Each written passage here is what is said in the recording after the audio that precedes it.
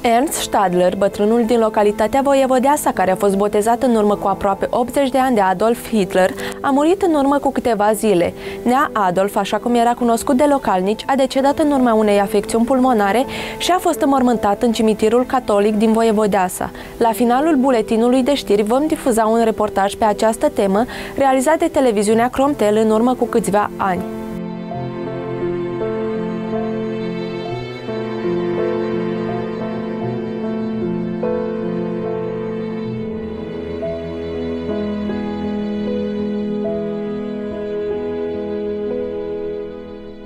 Luat tratament, s-a făcut rău, s-a dus la spital.